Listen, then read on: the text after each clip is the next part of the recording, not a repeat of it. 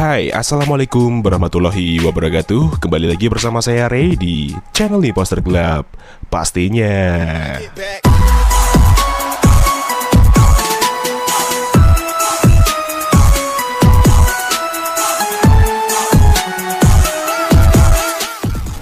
di hari Minggu yang indah ini kita ketemu lagi di channel Imposter Club bersama saya Ray. Dan kali ini kita spesial akan review dan share kembali config terbaru untuk kalian semua di Gcam LMC 8.4 Yaitu config iPhone 17 Color by Imposter cuy. Dan seperti biasa, di config ini terdapat kata sandi atau password untuk membuka file ekstrak confignya tersebut. Jadi kalian harus simak terus videonya sampai selesai.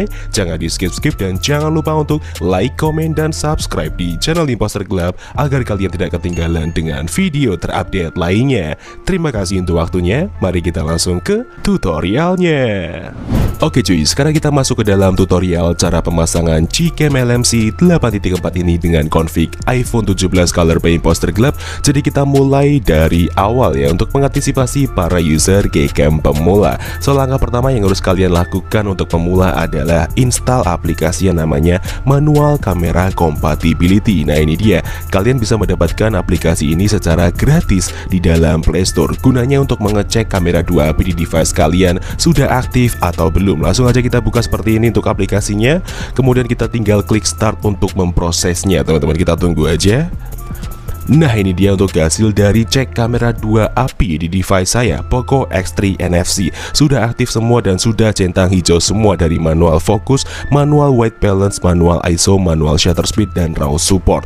Apabila centang hijaunya berubah menjadi silang merah atau salah satunya silang merah Itu tandanya device kalian belum bisa menggunakan Gcam dan belum aktif kamera 2 API-nya. Seperti itu pengertiannya. Sekarang kita tinggal kembali dan apabila teman-teman sudah download file bahan-bahannya yang ada di link deskripsi deskripsi video, kalian tinggal masuk ke file manager kalian ya. Di sini saya menggunakan Set Archiver sebagai pengganti manager file saya. Langsung aja kita menuju ke folder downloads. Ini dia. Nah, ini dia untuk bahan-bahannya teman-teman. Yang pertama di sini ada config iPhone 17 color.zip. Itu adalah file confignya. Dan yang kedua di sini ada LMC 8.4 R18 f1.apk adalah file aplikasi Gcam-nya seperti itu. Jadi sekarang ini kita tinggal install aplikasinya terlebih dahulu dengan cara kita kita klik seperti biasa, kita klik install. Berhubung saya sudah install aplikasinya, langsung aja kita buka Gcam-nya seperti ini.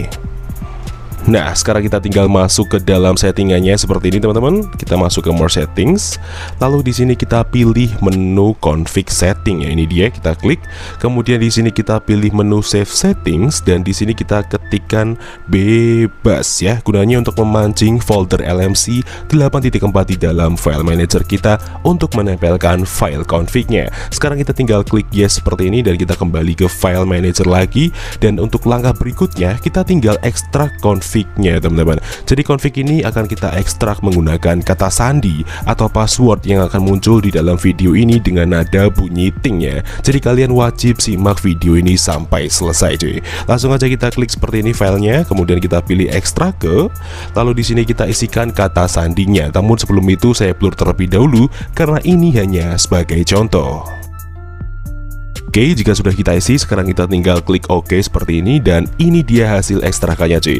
Config iPhone 17 color ya. Langsung aja kita buka dan ya, ini dia untuk file confignya. Jadi di sini ada 6 versi config dengan level kamera 2 yang berbeda-beda dan spesifikasi config yang berbeda. Jadi di sini ada config aux dan ada config non aux yang di mana config aux sendiri adalah config yang diperuntukkan untuk device kalian yang sudah support mode ultrawide dan mode video electronic image stabilization dan dan config non-aux sendiri adalah config yang diperuntukkan untuk device kalian yang belum bisa menggunakan mode ultrawide dan belum bisa menggunakan mode video stabilizer atau video ace ya teman-teman. Lalu untuk perbedaan antara config auto, JPEG dan UV sendiri adalah config yang di mana untuk level kamera 2API masing-masing device. Jadi masing-masing device itu berbeda untuk level kamera 2API-nya aja ya. Cara ngeceknya gampang banget. Kalian tinggal buka aplikasi yang namanya kamera 2 Pro. Nah ini dia.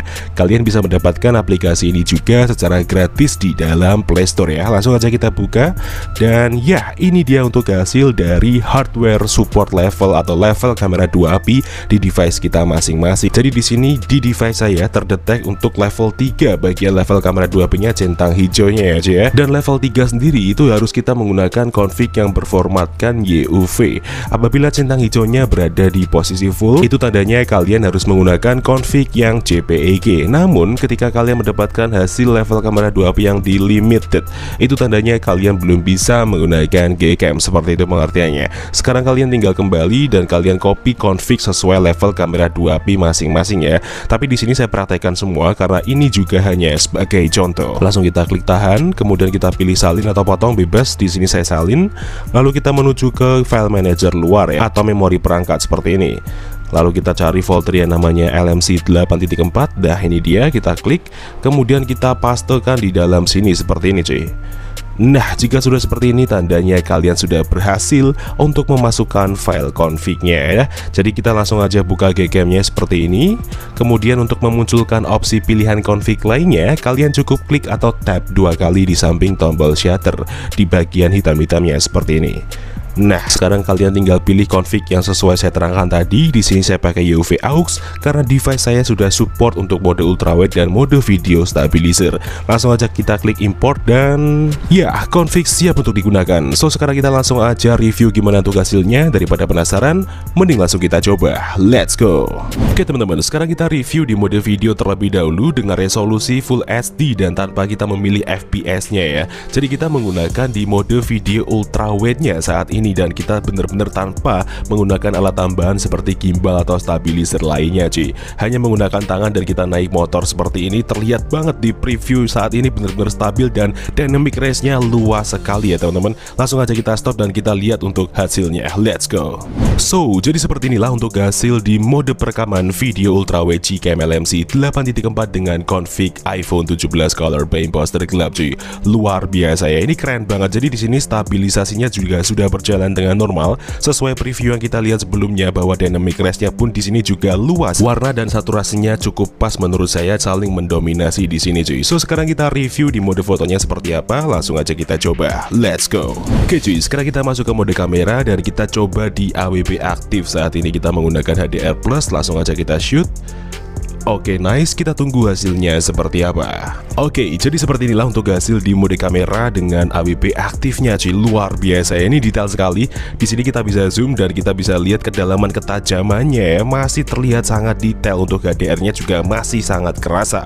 Warnanya juga sama, dominan lebih biru ke langitnya dan di bagian warna rona hijaunya juga cukup menyala di AWP aktif saat ini, teman-teman. So, sekarang kita review di mode ultrawide-nya seperti apa. Langsung aja kita coba. Let's go. Oke, cuy. Sekarang kita aja orang buat review foto mode ultrawide langsung aja kita shoot dengan AWP aktif dan mode Leica aktif ya langsung kita lihat untuk hasilnya dan ya, seperti inilah untuk hasil di mode ultrawide Gcam LMC 8.4 dengan config iPhone 17 color paint poster club cuy. Keren banget ya.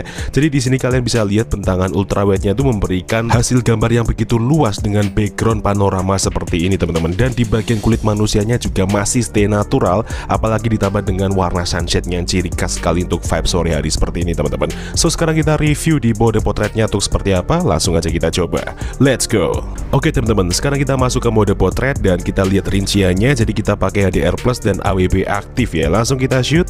Oke nice. Kita tunggu hasilnya seperti apa. Langsung kita buka dan ya seperti inilah untuk hasil di mode potret yang pertama. Kali ini kita menggunakan di AWB aktifnya cuy. Wow keren banget ya. Ini hasilnya bener-bener ala-ala di SLR Karena di sini bener-bener blurnya cukup rapi dan warnanya juga pas tidak terlalu mencolok Karena ini stay natural Di bagian rona kulit manusianya cukup putih seperti ini teman-teman dan kalian bisa juga lihat di sini kedalaman ketajamannya sangat detail sekali di bagian objeknya aja ya. So sekarang kita review di mode potret dengan AWP nonaktif untuk selanjutnya. Let's go.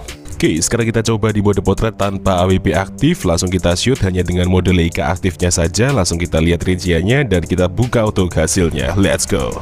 Oke, jadi seperti inilah untuk hasil di mode potret yang kedua. Kali ini kita menggunakan di AWP nonaktifnya. Hanya mengaktifkan di mode Leica saja teman-teman. Dan hasilnya secakep ini ya. Dengan mengaktifkan mode Leica Kita mendapatkan hasil gambar yang sedikit lebih dramatis ketimbang di mode pertama tadi. Karena di sini vignetnya membantu mereduce exposure yang terlalu berlebihan di bagian pinggir-pinggirnya. Dan kita hanya menonjolkan di bagian exposure tengahnya Terutama untuk objek manusianya teman-teman. Jadi kalian bisa lihat di sini warnanya lebih pop up di tengah ya cuy ya. Dan terlihat sangat natural sekali. So sekarang kita coba di mode potret dengan combo ultrawide-nya seperti apa. Langsung aja kita coba. Let's go. Oke cuy sekarang kita masuk ke mode ultrawide dan kita lihat rinciannya. Jadi kita pakai HDR plus tengah dan tanpa AWP aktif ya. Langsung aja kita tap dan kita shoot seperti ini. Oke nice. Langsung kita lihat untuk hasilnya. Dan finally untuk hasil dari Gcam LMC 8.4 dengan config iPhone 17 color by imposter gelap cuy luar biasa. Ini recommended banget. Jadi kalian bisa lihat sendiri warna yang dihasilkannya pun di mode ultrawide masih terlihat sama dengan di mode kamera tanpa AWP non-aktif juga cuy. Dan skin tone manusianya ini juga recommended banget buat kalian yang suka foto menggunakan objek manusia tanpa khawatir kulitnya mengalami warm atau sedikit gelap ya. Jadi di sini bener-bener skin tone-nya natural putih seperti ini apa adanya cuy. Warnanya juga natural saturasinya tidak terlalu mencolok agar kalian juga pas untuk menentukan warna di saat foto pemandangan outdoor seperti ini teman-teman So jadi mungkin cukup itu aja yang bisa direview pada video kali ini mengenai Gcam LMC 8.4 dengan config iPhone 17 color by imposter glove. Jika ada kurang lebihnya mohon dimaafkan dan jika ada kritik dan saran bisa disampaikan di kolom komentar. See you next time, enjoy the video dan sampai jumpa.